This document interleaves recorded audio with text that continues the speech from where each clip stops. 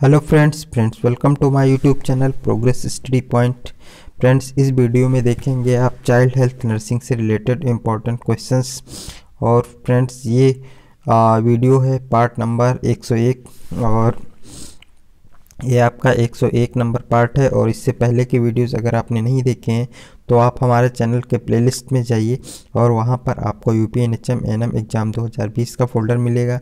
उसमें आप सारे वीडियोस देख सकते हैं। फ्रेंड्स वो वीडियोज़ आपके U P N H M N M सत्ताईस प्लस वैकेंसीज और आपके स्टेट के जो सी एच ओ एग्ज़ाम्स हो रहे हैं उनके लिए और जो अभी आ, आपके M P N H M का जो वैकेंसीज आए उनके लिए सभी के लिए मोस्ट इंपॉर्टेंट क्वेश्चन हैं। तो फ्रेंड्स, अगर आपने अभी चैनल सब्सक्राइब नहीं किया तो सब्सक्राइब कर लीजिए और नोटिफिकेशन बेल ऑन कर लीजिए और उस वीडियो को प्लीज़ लाइक और शेयर ज़रूर करिए। तो देखते हैं आपका सबसे पहला इंपॉर्टेंट क्वेश्चन क्या है। सबसे पहला इंपॉर्टेंट क्वेश्चन है आपका अबगार स्कोर उत्तम माना जाता है। यदि स्कोर है। इसमें मैं ऑप्शंस पढ़ूँगा और आप उसके बाद अपना आंसर चूज़ करेंगे और कमेंट सेक्शन में ज़रूर बताएँगे कि आपके कितने क्वेश्चन सही हुए हैं, जिससे कि आपको ये पता चल सके कि आपकी प्रिपरेशन किस लेवल की है।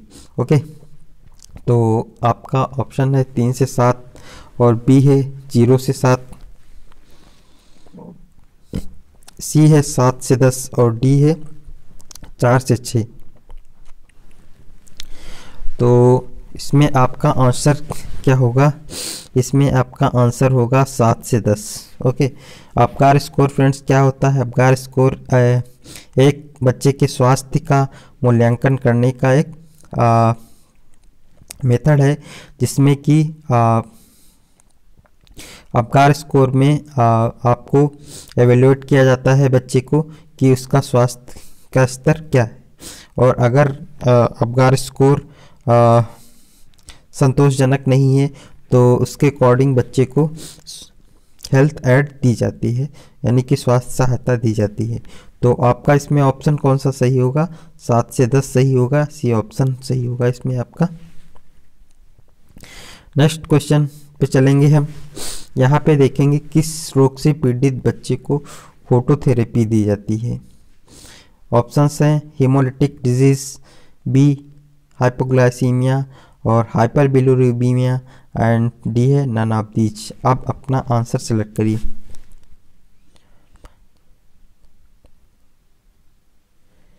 तो इसमें आपका ऑप्शन सही होगा हाइपर बिलीरूबीमिया यानी कि सी ऑप्शन इज़ राइट यानी फोटोथेरेपी जब न्यूली बॉर्न बेबी में मोस्टली क्या होता है, उनके ब्लड में बिलरुबिन की मात्रा बढ़ जाती है, जिसके परिणाम स्वरूप क्या होता है, उसके पूरी स्किन एलोइस हो जाती है। तो इसको डायग्नोस करने के लिए बच्चे को क्या होता है, एक ब्लू लाइट के नीचे उसके सारे कपड़े निकाल कर और उसको रखा जाता है।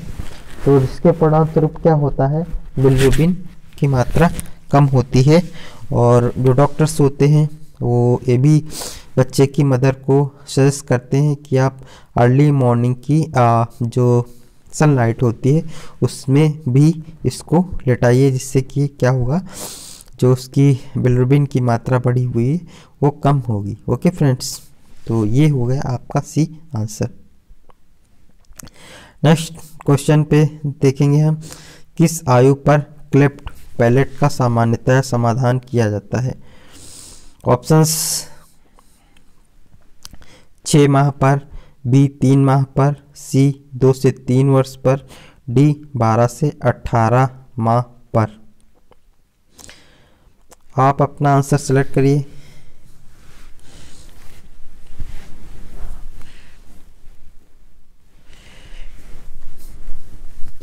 इसमें आपका आंसर सही होगा।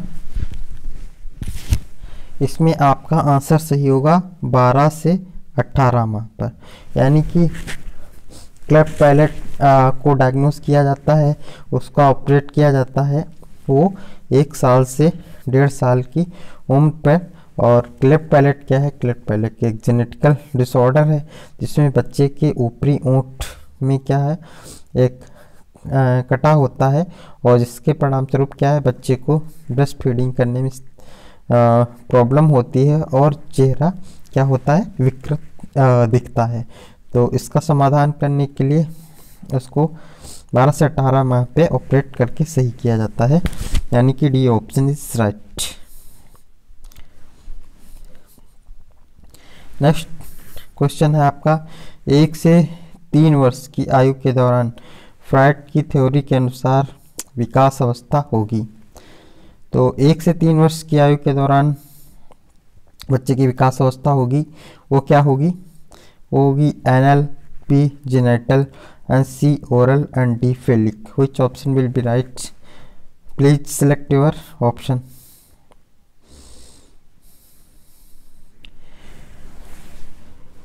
तो इसमें आपका ऑप्शन सही होगा ए यानी कि एनल ओके ये विकास अवस्था होगी एक बच्चे की एक से तीन वर्ष के दौरान। और नेक्स्ट क्वेश्चन है हमारा, नवजातों एवं शिशुओं में खराब त्वचा, पुअर स्किन चरगर इंगित करती है। क्या इंगित करती है? ए हाइपरटोनिया को, बी डिहाइड्रेशन को, सी हाइपोग्लाइसीमिया को, डी हाइपर कैल्सीमिया को।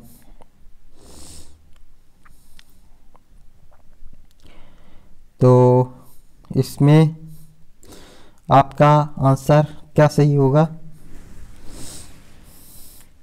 इसमें आपका आंसर सही होगा डिहाइड्रेशन को ओके नवजातों एवं शिशुओं में खराब त्वचा इंगित करती है डिहाइड्रेशन को, यानी B option is right next question पे हम चलेंगे। और ये क्वेश्चन है आपका, स्तनपान के साथ ठोस आहार शुरू करना कहलाता है। स्तनपान के समय, यानी ब्रेस्ट फीडिंग के समय ठोस आहार शुरू करना क्या कहलाता है? ये ऑप्शन है आपका कॉम्प्लीमेंट्री फीडिंग एंड बी है आपका डिमांड फीडिंग एंड सी है आपका शेड्यूल फीडिंग एंड डी है आपका कंडीशनल फीडिंग तो आपका कौन सा आंसर राइट होगा? सेलेक्ट योर आंसर इसमें आपका होगा कम्प्लीमेंट्री फीडिंग यानी ए ऑप्शन इज़ राइट ठीक है पूरक आहार शुरू किया जाता है स्तनपान के साथ बच्चे को। जी। नेक्स्ट क्वेश्चन पे हम चलेंगे। अग्र फोंटनेल बंद हो जाता है। कब बंद हो जाता है। ऑप्शन है, नौ से अट्ठारह माह की आयु पर, बी, दो माह की आयु पर, और सी है जन्म पर, और डी है दो से तीन वर्ष की आयु पर। तो आंसर सेलेक्ट करिए।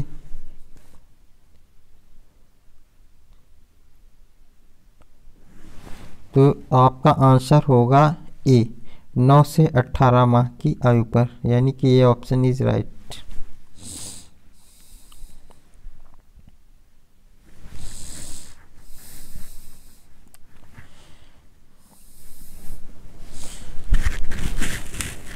क्वेश्चन, एक हज़ार जीवित जन्म पर गर्भस्थ शिशुओं एवं शीघ्र, जो अर्ली न्यूबॉर्न बेबी होती है, बेबी होते हैं, उनकी कुल मृत्यु क्या कहलाती है? Options, neonatal death intrauterine death, foetal death, and D, perinatal mortality. Okay? तो कौन सा ऑप्शन आपका सही होगा?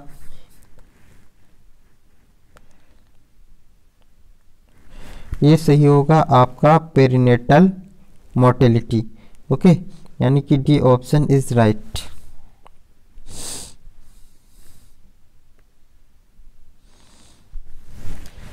question bowel control के सामान्य रूप से अपेक्षित आयु के पश्चात एक बच्चे द्वारा अनुपयुक्त स्थानों पर बार बार अनैच्छिक रूप से या जानबूझकर मल विसर्जित करना कहलाता है।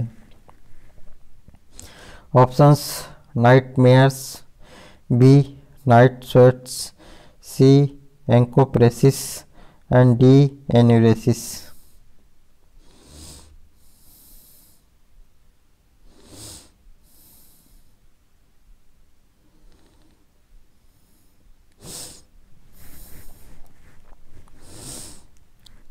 तो इसमें आपका ऑप्शंस क्या होगा?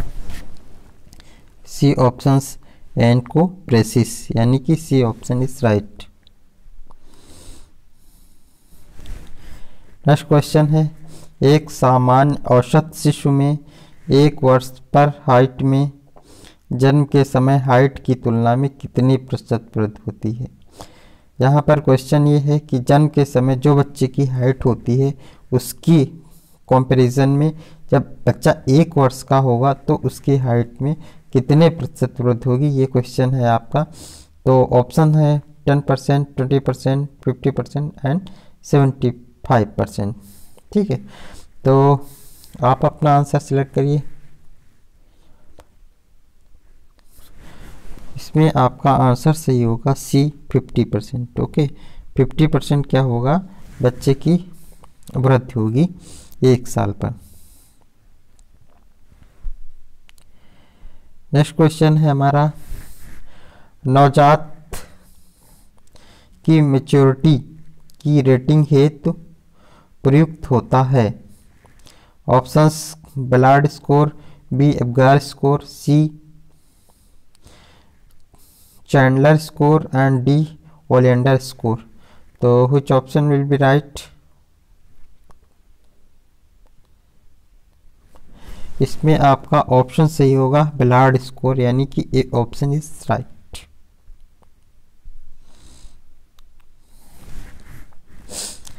एक बच्चे में मेनिंजाइटिस की दर से होने वाली, देर से होने वाली जटिलता क्या है?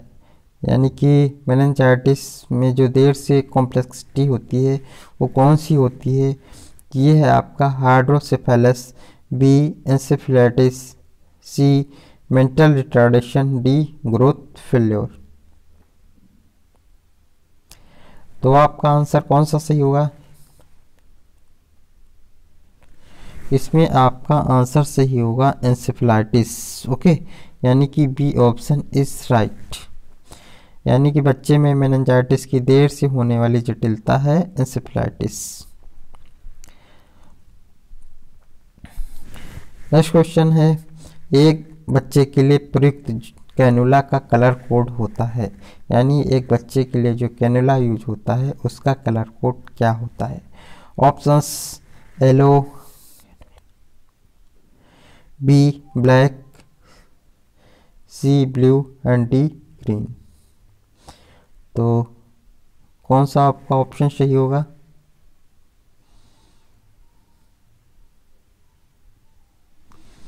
इसमें आपका ऑप्शन सही होगा येलो यानी कि ए ऑप्शन राइट यानी पीले कलर का कैनोला का कलर कोड होगा। नेक्स्ट क्वेश्चन है, एक सही समय पर जन्मे नवजात की जन्म के समय सामान्य हार्ट रेट क्या होती है? ऑप्शंस 120 से 160 बी 80 से 100 सी 70 से 110 डी 100 से 120 तो which option will be right इसमें आपका ऑप्शन सही होगा 120 से 160 यानी एक सही समय पर जन्मे नवजात के जन्म के समय सामान्य हार्ट रेट होती है 120 से 160 ओके? 120 से 160 हार्ट रेट होती है एक न्यूबॉर्न बेबी की। तो फ्रेंड्स ये क्वेश्चंस आपके सभी एग्ज़ाम्स के लिए मोस्ट इंपॉर्टेंट है और इसके लिए अगर आपने अभी तक चैनल सब्सक्राइब नहीं किया तो सब्सक्राइब ज़रूर करिए तभी आपको जो इंडिया से जो नर्सिंग पैरामेडिकल नर्सिंग की जो वैकेंसीज हैं वो आती हैं तो उसके लिए जो नोटिफिकेशन होगा आपको तभी मिल पाएगा जब आपको सब्सक्राइब करके नोटिफिकेशन बिल ऑन करेंगे और इस वीडियो को प्लीज़ लाइक ज़रूर करिए और इस वीडियो को आ, आप व्हाट्सएप ग्रुप और फेसबुक पेज पे इसका लिंक शेयर कर सकते हैं, जिससे और लोगों को भी इसका एडवांटेज मिल सक, सके। मिलते हैं नेक्स्ट वीडियो में। Thank you so much for watching my video